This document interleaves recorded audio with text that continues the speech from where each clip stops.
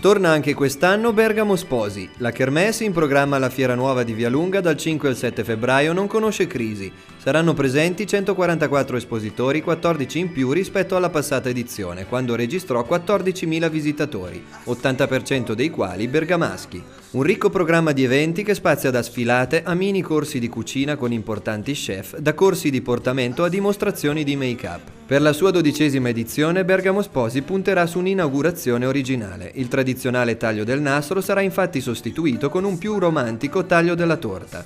Tra i settori merceologici la parte del leone la fanno i rappresentanti della ricezione, in crescita anche foto, video e multimedialità, bomboniere, lista nozze e partecipazioni, e naturalmente abiti da sposa e da cerimonia.